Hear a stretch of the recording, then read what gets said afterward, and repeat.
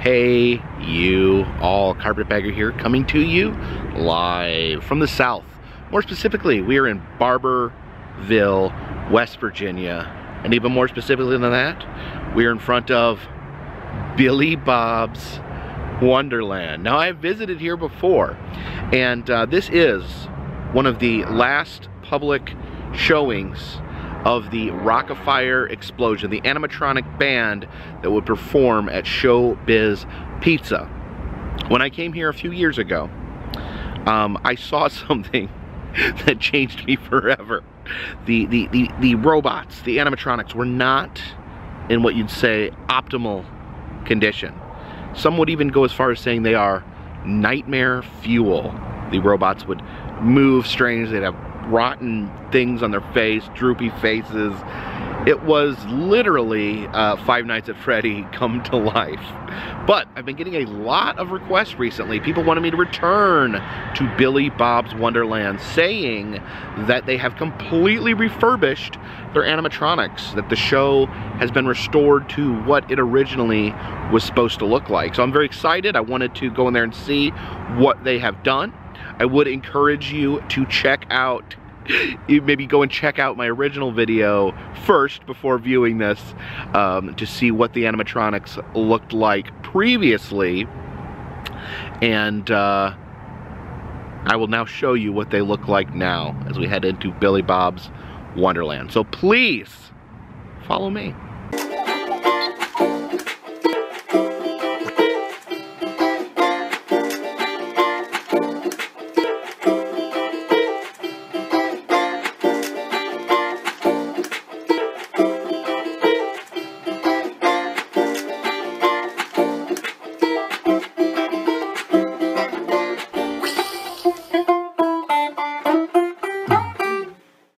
Looks like the Lincoln County school children are going on a field trip here to Billy Bob's Wonderland.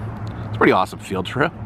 There's something I really like about this flaming West Virginia on the wall here over the bench. Just searing with flames. Look up there on the awning, actually have Billy Bob there with his little bird friend on his shoulder says pizza place there. This would be the logo for Showbiz Pizza Place. We'll probably remove the word showbiz for legal purposes. All right, look what we have here. It is a payphone. Now yesterday in uh, Sutton, West Virginia, we found a working payphone. Let's see if we can go two for two. Okay, it's making a noise. It's not, it's not a dial tone. It's kind of like a low electronic buzzing. Let me see if I, when I hit the, you know, hit the, when I hit the buttons, it doesn't make any noise. So we're gonna have to count that non-functional. There is a bear welcoming us to Billy Bob's Wonderland. That is not Billy Bob himself though. Must be one of his friends or relatives. Now let's head inside of Billy Bob's Wonderland. Ooh, look at that floor mat.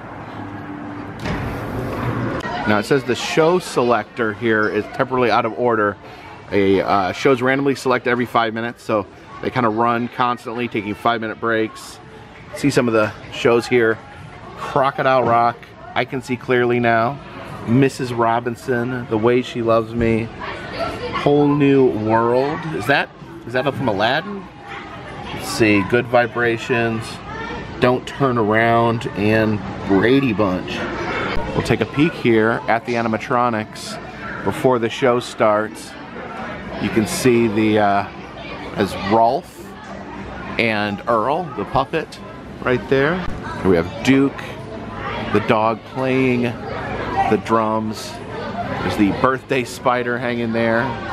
There's Fats, the gorilla on the keyboard. Beach Bear back there playing the guitar.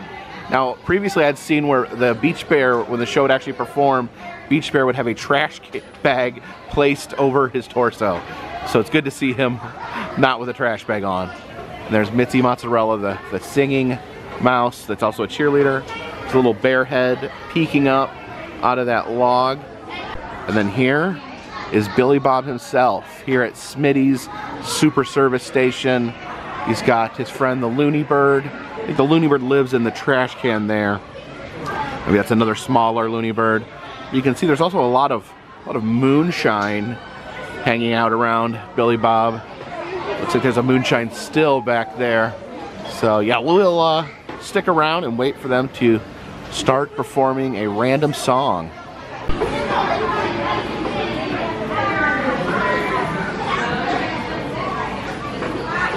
See, there's actually a caribou up there above the stage. This poster here says Billy Bob's Wonderland Rock-afire Extravaganza, Saturday, January 29th. That was recently, so I guess I missed this. This must have been uh, some sort of celebration on the newly restored figures. You can see the figures there all have their brains open with tools shoved inside. Billy Bob, he's got a screwdriver and a wrench jammed in his brain. Here we have some artwork of the Rock-afire explosion.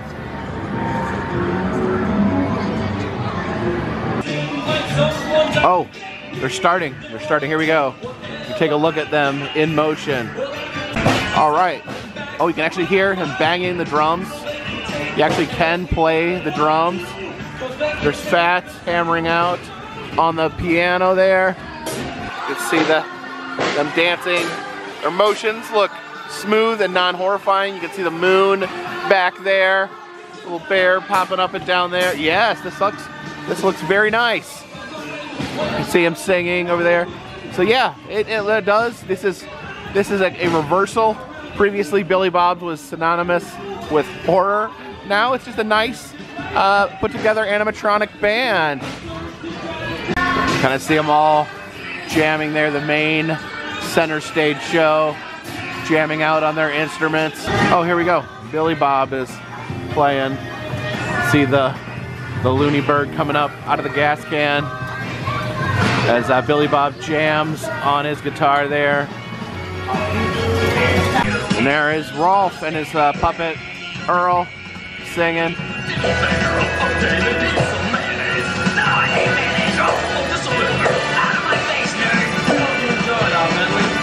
See everybody jamming all at once. Even Rolfe over here is singing along.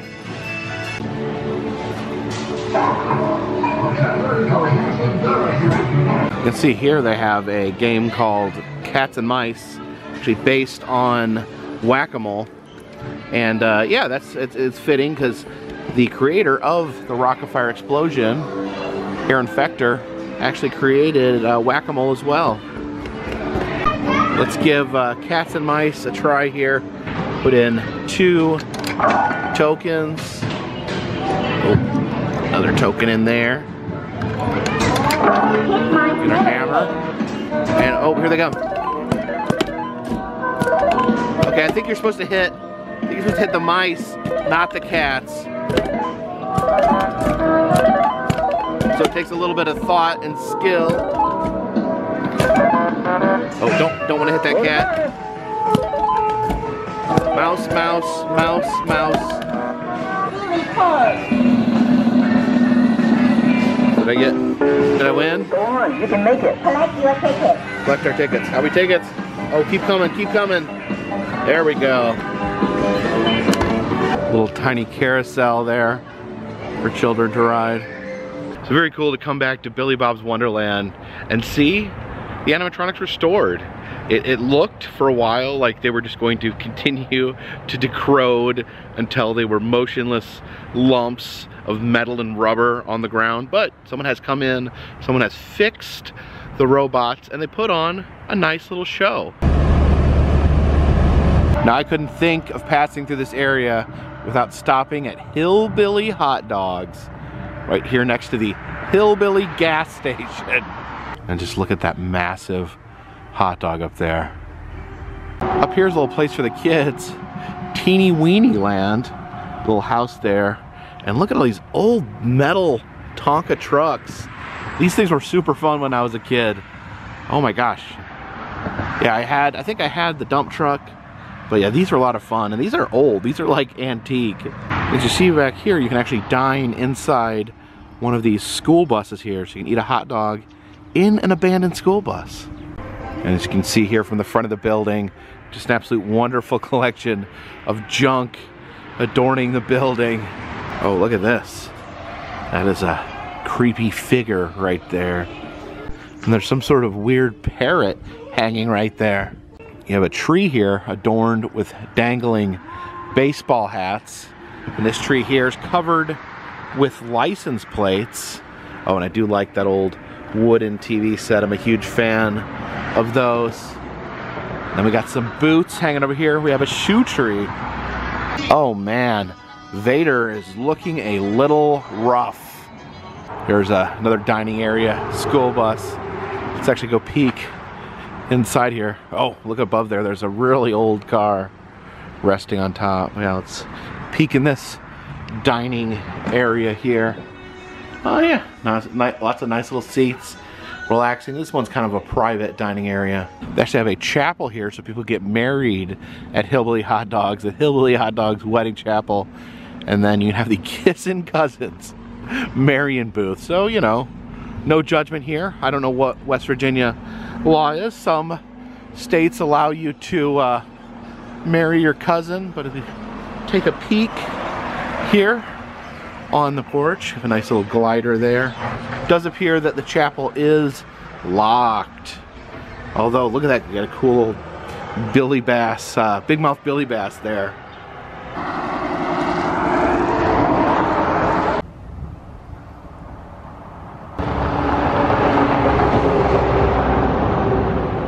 says grinning like a possum pooping peach seeds.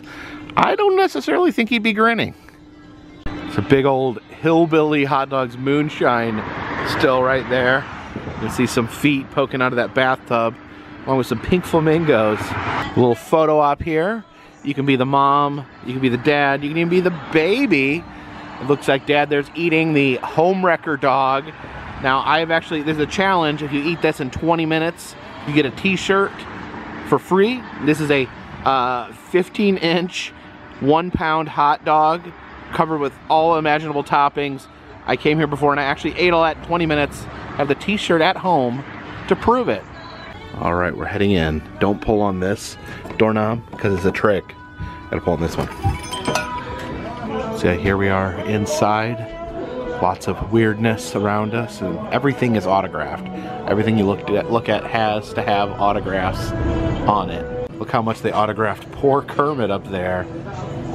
Little autographed doll there. And look at that. Look at that dummy head there with the flower. All right, and here's where we eat. I'm gonna come in here and wait for my hot dogs to be ready. Let's see the bus seat there. So we uh, walk to the through the bus here. Yeah, just look at look at all these autographs here on the uh, on the table and on the inside of the bus here. All right, my hot dogs have arrived. Now they are known for very unusual hot dogs, so I made sure to get three of the weirdest hot dogs I could find on the menu. So let's crack into these. First up, we have the pizza dog. You can see pepperoni on there, melted cheese, marinara sauce, and a hot dog right buried in there. All right, let's try this pizza dog there.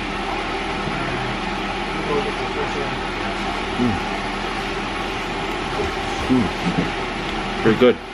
Mixes the flavor of the hot dog, the flavor of the pepperoni, which is a very interesting combination. I'd say this one is a win.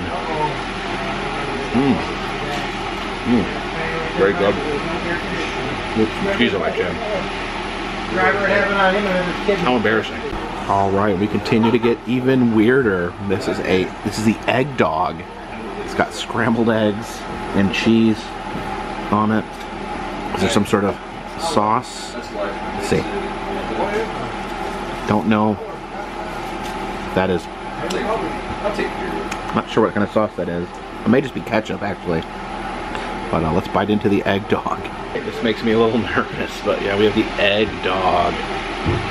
I just, yeah, it does look like it is ketchup on it, and a nice, uh, nice. I said scrambled eggs, but this is almost, almost like a fried egg. So let's uh, down the hatch.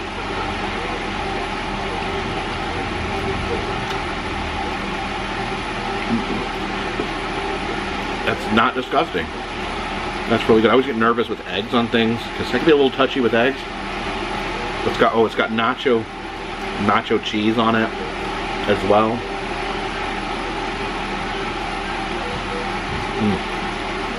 We have another winner. That wasn't one I was even really expecting to like, but it's good. And here we have possibly the strangest of the dogs. This is the Pine Appalachian dog. It has pineapple on it and ham and it looks like barbecue sauce. The people always ask me, do you like pineapple on your pizza? And I'm like, eh, kind of ambivalent about it. But people never ask me, do you like pineapple on your hot dog? And I guess that is what we are about to find out here in just a moment. If I've ever been this nervous about eating a hot dog. The Pine Appalachian dog. Mmm. Pretty good. It's got the barbecue sauce. It's a nice, nice accent to the uh, the ham. Love the ham. The ham is good. Pineapples are a little weird. I don't know. Honestly, I get a little weirded out when you combine sweet stuff with hot dogs, but I think this, I think especially if you love pineapple pizza, I think this would be a home run. So, mm, very, I'm sorry, let me finish cheers. I don't talk with my mouth full. Mm. Yeah, some very fascinating, interesting uh, hot dogs that, um, yeah, there's there's others on the menu, weird ones. Uh, I do want to try in the future, so every time I come by, I want to come by here and try a few of the weird hot dogs. These are all, and, and, and that's what that, that's the key to doing weird stuff. Is you got to make it taste good. You know, it's easy to like make something crazy, like the carrot dogs. Put a carrot on a hot dog. You're like, it's crazy. It's the carrot dog, but no, you got to put a little more thought into that. You got to make it taste good, and I think they have succeeded. This looks like a deer with a drive-through speaker on his head. Another fine example of what happens when you put taxidermy outdoors.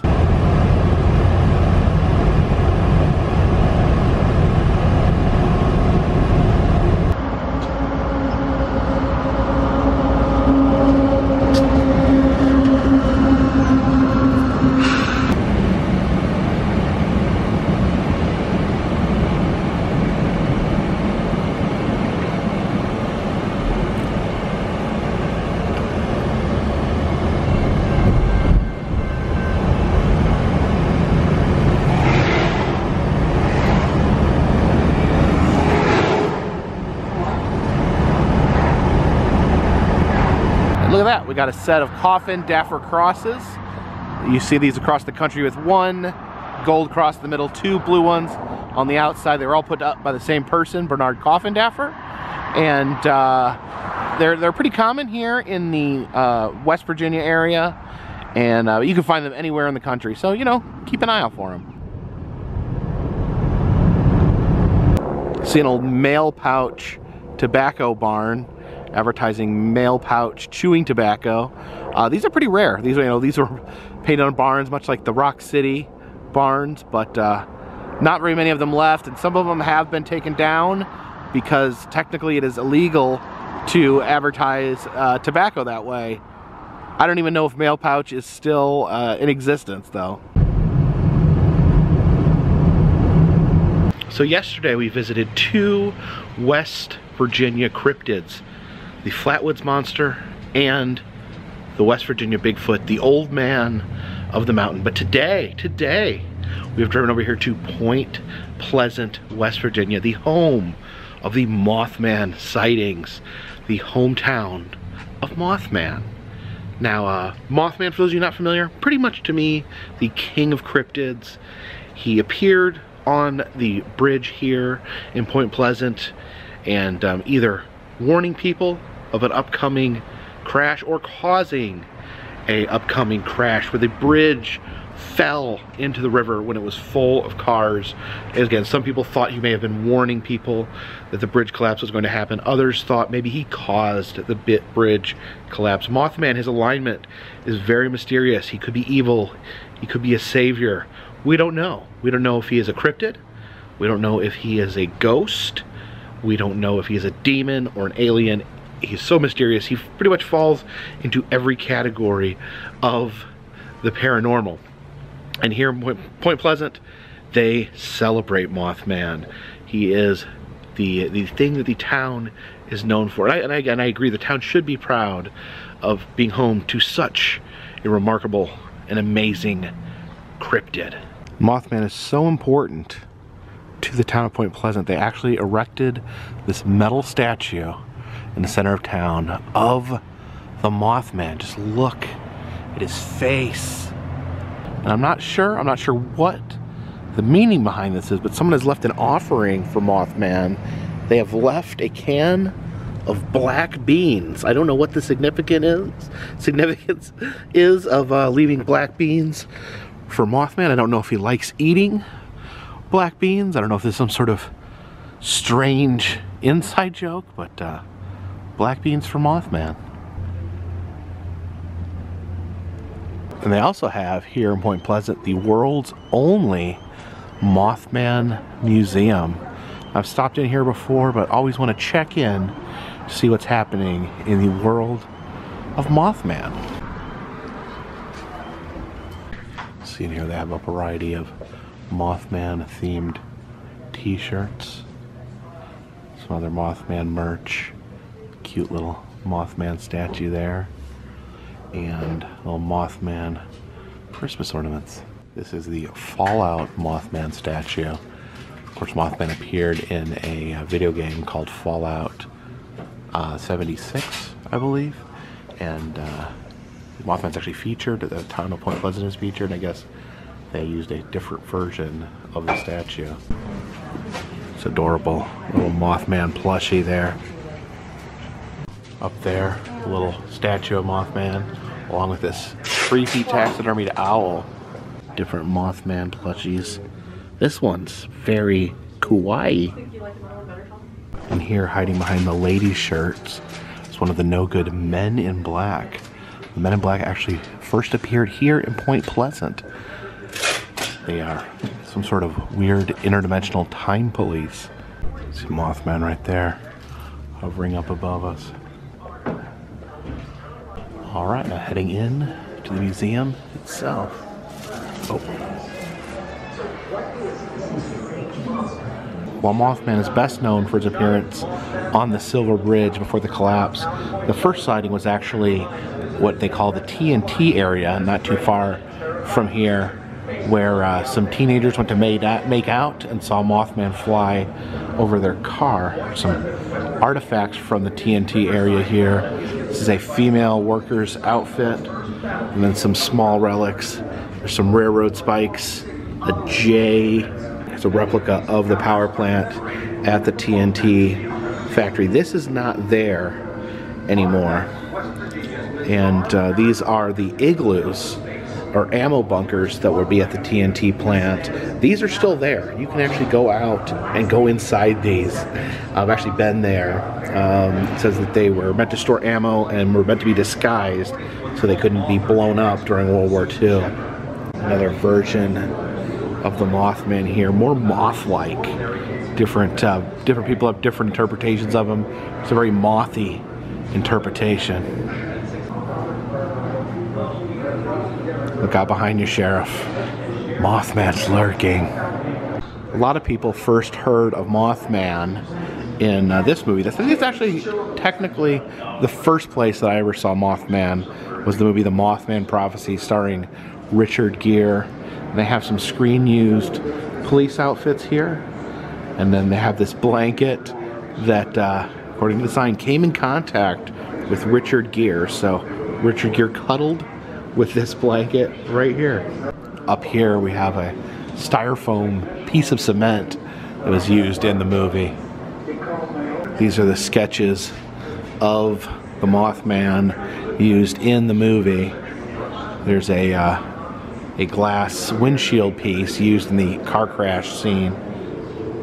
But no one can convince me that this isn't the greatest prop from the Mothman movies. The chapstick. Yes, there's a scene where uh, Richard Gere is on the phone with the mysterious Indrid Cold. And he says, What's in my hand? And Indrid Cold says, Chapstick. And he slowly opens his hand, revealing chapstick. It's a model of the Silver Bridge that crashed. You can see the Mothman up there on top of the bridge, either warning people or causing the uh, horrific crash. And when I say horrific crash, it truly was horrific. It was loaded with cars.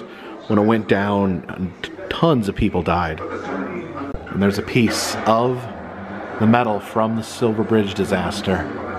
It's a Red Cross armband right there that was used when they were trying to rescue people from the bridge uh, after they plunged into the water. It's a collection of different Mothman figures, a lot of different interpretations. Oh, and look at that. We even had the Flatwoods Monster from yesterday making an appearance. I think in some ways Mothman has become a real phenomenon. I know a lot of more people know about him now. He's got a much larger profile. It's a little mini version of the statue outside. Here is a Mothman costume. He uh, comes out to play during the Mothman Festival they have in September every year. Oh, look at his face. Men in black lurking all throughout this museum. Yeah, the Men in Black, which later inspired the Will Smith movie, that was all started here in uh, West Virginia, in Point Pleasant, after the Mothman attacks. I think they're sometimes seen as like cleanup agents, like they're in the movie, trying to convince people that they didn't see things. But uh, one thing about the about the the Men in Black that often gets uh, forgotten is that they appear to be non-human. They appear to be in human disguises. They spoke weird, as if they did not really understand the human language in its entirety.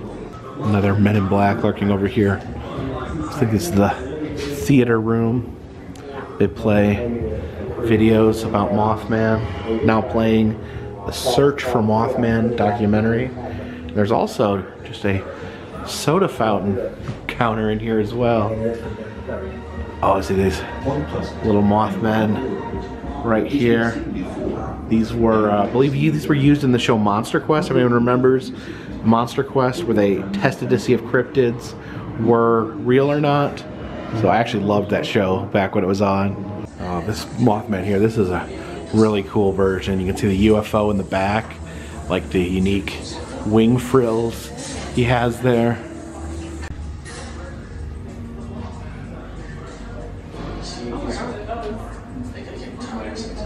This is John Keel, who originally investigated the Mothman sightings and wrote the book, The Mothman Prophecies. And here is his white suit. He actually wore this suit to the dedication of the Mothman statue. Oh wow, I like this Mothman too. Very unique one here, the gold, golden Mothman. Different Mothman artwork down here. Little Mothman doll there. There's Rubber Mothman, and there's a Mothman from a uh, from some sort of card game. That's not MetaZoo. Because it says 1996. That's not Magic the Gathering either. I don't. Anyone knows what card game that is? Uh, leave a comment in the comment section. Ah, Mothman.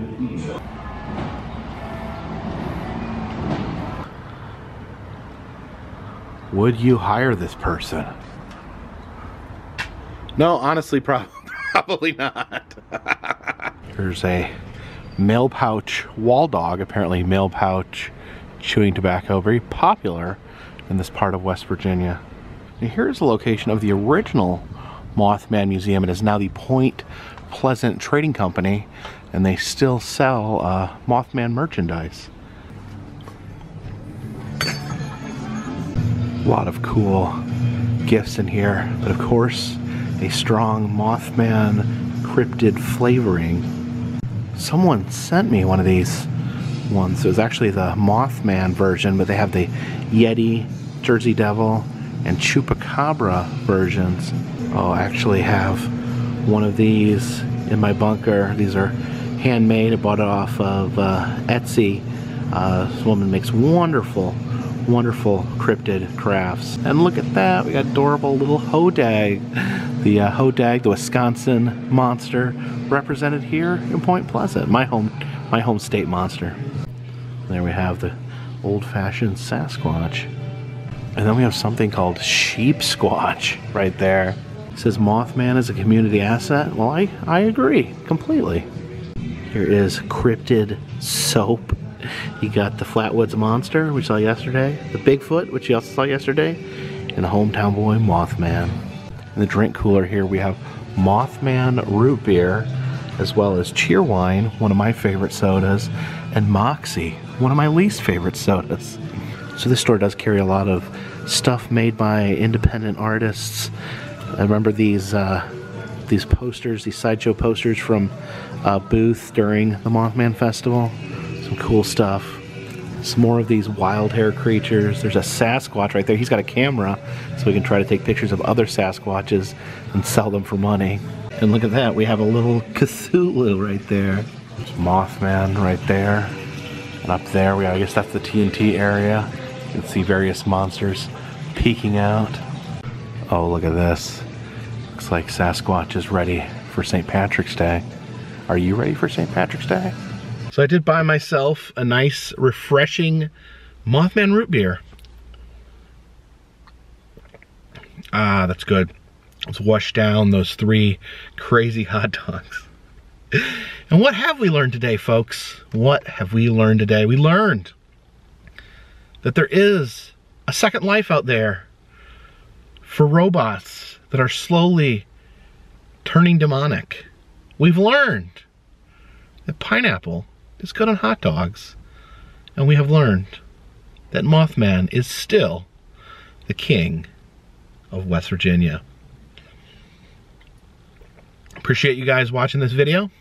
If you want to subscribe, it'll let you know when new videos are coming out.